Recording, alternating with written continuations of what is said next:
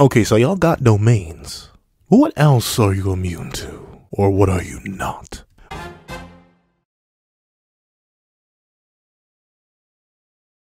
Thank you to our final patrons, Redwolf4765, Midnight Gem Lord, and Sean. Thank you to our $3 members, Recliner Plays and Redwolf4765. And a very big thank you to our $25 patron, Alex Ice Rose. Before we have this breakdown, slash discussion and analysis on what the Heavenly Restriction users are immune to and what they are not immune to, please remember to leave your own thoughts on what they're immune to and not immune to in the comment section down below. Leave a like and subscribe if you haven't already. Also, hit that little notification so you miss out on any videos that come to the channel. Also, also, I do have a Patreon below. Each more videos as as one, count one, down one, exclusive videos, early content, and more. You also now become a member of the channel for as low as three dollars a month to get the same perks and more. Now, let's hop into the discussion. What's up, guys? All Pencil here, and here we are to discuss the immunity levels of the heavenly restriction users. Mainly because, like, fun fact, I do have other social media accounts you can go follow if you are intrigued in more pencil content. And one of them was on TikTok. And one of the things that was brought up was Toji and Maki versus Yuta. And personally, I believe there's a pretty obvious win con for Yuta. I think if he hits them up with cursed speech round start, then they're done. Because they would just get paralyzed in place because they have no means to resist it because they don't have cursed energy to block their ears. And thusly, they would get hit by it. GG. Bada bing, bada boom. Rika slams their heads in. But a lot of people were commenting on that video that curse speech wouldn't work on them. They're immune to domain, so curse speech wouldn't work on them. Curse speech will not work. Curse speech, they're immune to curse speech. And I sat back and thought about it, and I don't think they are. But let's talk about what they are immune to first. First things first, they are immune to barriers. Maybe. Yes, they are, because the narrator said it. So barriers they're immune to, because they can just walk in and out of them, because they have no cursed energy to be recognized by the barrier, so they are good. They're essentially buildings. It's like a rock. They're essentially just living, breathing, walking, talking rocks when it comes to domains. But specifically domain barriers or any barrier related technique. Notably, I don't think Gege actually thought of this the entire time because you can see way back when in the Gojo's past arc, Toji does get affected by a barrier domain, or at least the domain of a cursed spirit, but then again, he responds to it. So maybe he didn't even know, but then again, he notes that. He says he's an invisible man, so he even notes back then that he's immune to barriers and tracking and stuff like that. But for some reason, he still interacts with that one. So maybe he doesn't know that he can choose to not interact with the domain as long as he just stands there. Because, you know, Toji, he was rusty. He may have been messing around a little bit. And it's not like domains are super common in the modern age. So it's highly unlikely that he runs into domain expansions all that often. So we can let Toji slide for that one. And obviously, we have the big major example where it gets confirmed by the narrator that Barriers simply do not recognize Maki and Toji as they have zero cursed energy as heavenly restriction users.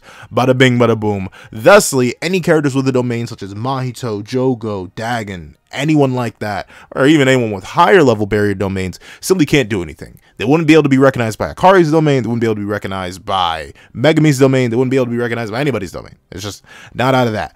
But notably, I lied, they would be able to be recognized by barrierless domains mainly because barrierless domains don't care. Because the main thing that they're immune to is the cursed energy tracking of barriers. That's what's specifically noted in chapter 198, and I'll quote it. Like Toji, Maki doesn't have any cursed energy, so barrier techniques treat her as a building. Now you must use an actual structure as the barrier's exterior like Fushiguro did in Tokyo Colony number 1, but unless she consents, he can't trap her inside a domain. So they essentially get to go through and absolutely ignore any barrier domain. As, quote, the chapter says, the domain's guaranteed hit couldn't recognize Maki because she has no cursed energy. So that works. But note the wording. The barrier. the domain's guaranteed hit could not recognize it because the barrier didn't count. If it was a physical barrier like a building, it would have been fine. But since it wasn't a building, well, now you got GG because his own barrier cannot recognize something without cursed energy as an individual to attack.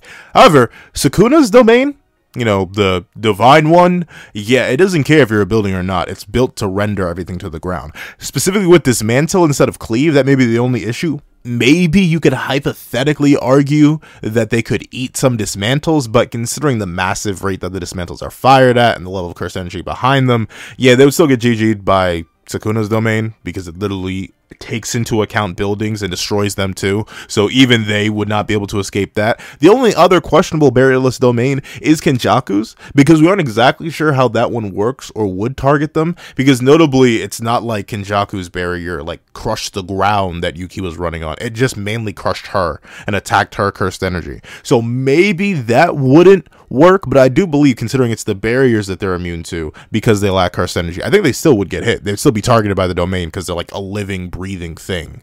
But maybe not. Maybe it's their rock people immunity that allows them to ignore that. But that's a big thing. They're immune to barriers. They are not immune to being affected by cursed energy. And that's the big debacle on what they are and aren't immune to. So let's take another major example of someone who can place things on things that are either cursed energy infused or not Kashimo. A big question in the Kashimo versus Toji and Maki matchup is, well, would he even be able to place charges on them? They don't have any cursed energy for the latch onto. But Kashimo's works very specifically on just things he makes contact with. As we see in the fight with Hakari in chapter 188, when Hakari is currently trying to slam Kashimo down, beat him down real quick, we see that uh, Hakari is noted to still get hit by lightning because Kashimo notes, as for accumulating electrical charge, you're not the only one, Hakari. Kashimo retrieved cursed energy as an electrical feedback along the chosen route through Hakari. So yeah, even on his staff, which isn't anything special, it's literally just a staff, which shouldn't have any cursed energy in it, he can still attach charges to. So they are immune to that. They'll still be able to get hit by the charges as it's just him placing charges on something. He could hypothetically beat a wall to death and then bada bing bada boom. It would also have charges on it, so he could hit that with a lightning bolt too. So Kashimo's attacks would still work. The big one, the discussion of the video, is cursed energy from cursed speech. Would that affect them? And yeah, it has no reason not to notably because of how cursed speech works. All it is is someone attacking you with cursed energy infused words, and then you have to follow the word's command. The main defense against cursed speech, which is why a lot of people can usually neg it as long as they know their opponent has it, is the fact that you can reinforce your ears with cursed energy to block it out, like you would reinforce your body with cursed energy to block out physical hits. Toji and Maki can't do that. Like, they legitimately have no way to defend themselves against something like that. So they would still definitely be affected, probably worse than anybody. Because most sorcerers would probably be able to, like, subconsciously defend themselves in a similar way to Mahito, noting that Nanami actually subconsciously defended his own soul from being attacked by idle transfiguration. But when it comes to cursed speech, you need to have cursed energy to defend against it. Maki and Toji have no cursed energy. Thusly, if someone like Yuta, someone powerful enough to actually, you know, do something to them, were to say stop, or were to say explode, or were to say perish, they probably just would, which is weird to think about. But yeah, they have no defensive against cursed speech specifically. The only hypothetical defense I could see against it is them just dodging it. Like they can tell that Yuta's about to do it and they avoid it. Like they get out of the range of the sound. Because literally we know they can move faster than sound. It's not entirely crazy for them to just straight up ah and, and run if they can recognize what's about to happen. But if they get hit by it, they still would be affected. We know that curse techniques can still work on them just fine. We see Gojo using blue, red, purple, all on Toji, and they all hit. And they all do damage just fine. We see Maki can still be affected by things like the 24 frames technique. She can still be frozen in place by stuff like that and slammed just fine. It's the barriers that they're immune to because they can't be recognized by that. But they're still people. They may be walking, talking rock people, but they still are people fundamentally. So they can still be affected by any curse technique. Which is why I think Mahito could still hypothetically do something to them if he touched them. That's where the whole like weird soul, body, strength, immunity thing will come in. Because notably, Gege notes in external volume extra that Kenjaku could have hypothetically taken Toji's body, but didn't because of the heavenly restriction stuff. It may have actually interfered with his brain controlling technique, and bada bing, bada boom, they may have actually been able to fight back. Like in a similar vein to how when the seance technique was used to summon Toji's soul, he overrode the soul of the grandchild and just completely took over. So that may end up happening to Kenjaku. He may have just accidentally brought Toji back to life because the rest of his body would have just revived if he took over the body. So maybe hypothetically they could resist something like idle transfiguration because their body is so powerful and it inadvertently like reflects upon their soul being extremely powerful. So they may be able to eat it, but at the same time it's a cursed technique. So they may be immune to something like the self embodiment of perfection domain because the domain wouldn't be able to recognize them. But in terms of like dealing directly with Mahito themselves, sure, they'll speed blitz and absolutely annihilate them with Soul Splitter. But in terms of like actually, you know, dealing with the effects of Idle Transfiguration if Mahito were to land a hit? I don't think they could. Because notably, the main people who defend against Soul Transfiguration and Idol Transfiguration are people with A, Cursed Energy, like Nanami, when Mahito was much weaker and wasn't able to use his technique as well, with the Cursed Energy defending his soul, and or Yuji, who has two souls, and the other soul inside of him is Sukuna, who could just absolutely swat away Mahito like a fly. So that's the only other thing that they could hypothetically be immune to. Just because of the whole like super strong body, super weird soul situation. That's about it. Every other curse technique in the verse should work on him. Like there, there's no there's nothing special about that. Like the domains, yeah, sure, but if they are visible, if they can be hit and they can be seen, they can be affected by a curse technique. Like, there's no reason that they shouldn't be. I've heard people arguing that they should be immune to sky manipulation because, like, sky manipulation wouldn't recognize them. But, like, sky manipulation bends the sky. The sky don't got cursed energy in it. like they would get they would get yanked along like anybody else. You could argue that they may be fast enough to avoid Uro and thusly wouldn't be hit by sky manipulation, or you could argue that as long as Toji has the inverted spear, sky manipulation wouldn't work. But very specifically, it's not like they're it's not like they're immune to all curse techniques. That's the main point. Like they are not immune to any curse techniques. Like they are not strictly immune to anything. In fact, some of them may be even more vulnerable than your average sorcerer because they have no cursed energy. They just happen to be really, really strong, really, really fast. So it's not like they would struggle against Toge. Before Toge could even get out a word on either of them, he would be decapitated. Like that, it's simple as that. They would be done. But against anybody high level enough, anyone who could actually perceive them, yeah, they ain't doing good against Yuta if he pops out that cursed speech. They ain't doing good against Ryu if they get smacked in the face with a granite blast. They ain't doing good against Kashimo if he starts laying them paws on them. they do not have any kind of special resistance, and they will get done worse than other people who do have cursed energy because they can at least resist stuff.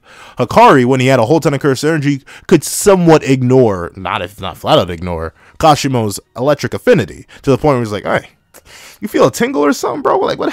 What is this? What, what is this?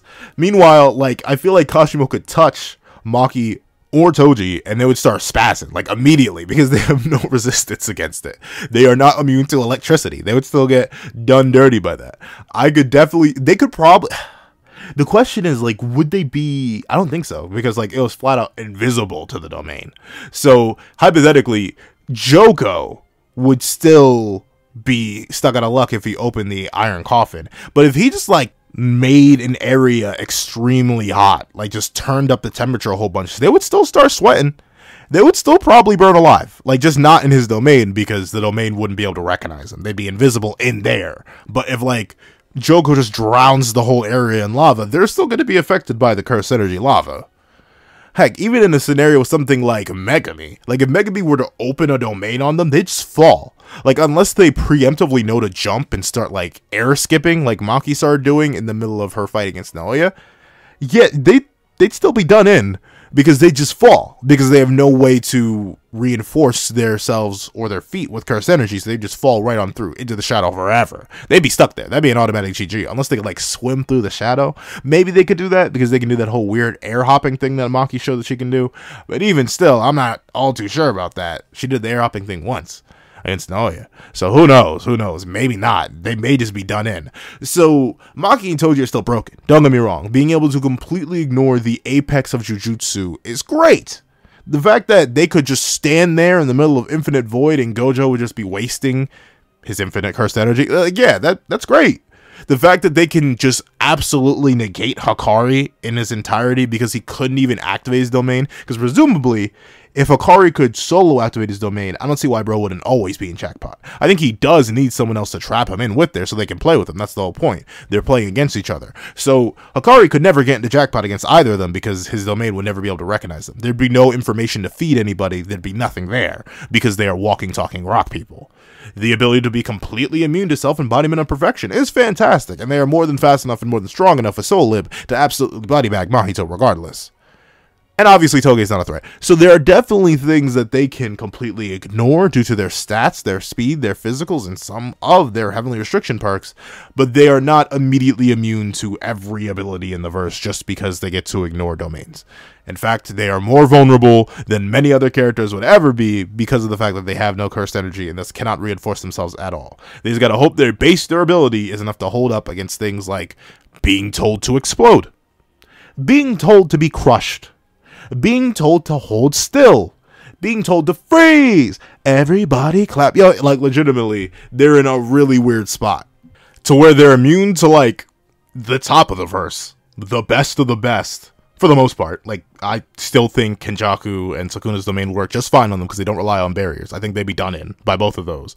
So they're like, it's weird because they're immune to like the middle, the middle because they aren't immune to the pinnacles. They aren't immune to the divine domains, but they're immune to all the garden variety domains, except for the ones that target things without cursed energy, like implicitly, like straight up, they would fall to Megumi's domain, which is like the bottom tier of all domains because it's not even a complete one.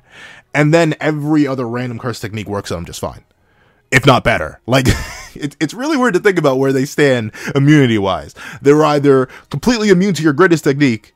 And then can get affected by your regular one just fine, if not better than other sorcerers would be affected. And they're not immune to the peak and pinnacle of the peak and pinnacle because, like, they are not those guys. They simply cannot ignore all curse techniques, which is very interesting. I feel like Gege built that in as like a balancing metric. Like, yeah, they're really, really good, they're really, really strong, but they aren't like pinnacle of the verse strong. They can still be affected by things that are not the peak, and especially the peak. So I, like how Gege built them. I like how Gege built them. However, that's what I think. If you guys think I'm wrong, do you think they have immunity to certain techniques just due to their special biology? Please let me know in the comment section down below. Thank you guys so much for watching. Please like, share, comment, and subscribe. Make sure the notifications also miss out on any videos that come to the channel. Also, also I do a Patreon below, one as low as one, kind of one dollar. Exclusive videos, early content, and more. You also now become a Maryland channel for as low as three dollars a month to get the same perks and more. Now, thank you guys so much for watching once again, and I hope you guys have a wonderful day. This is Lago the Pencil, writing off.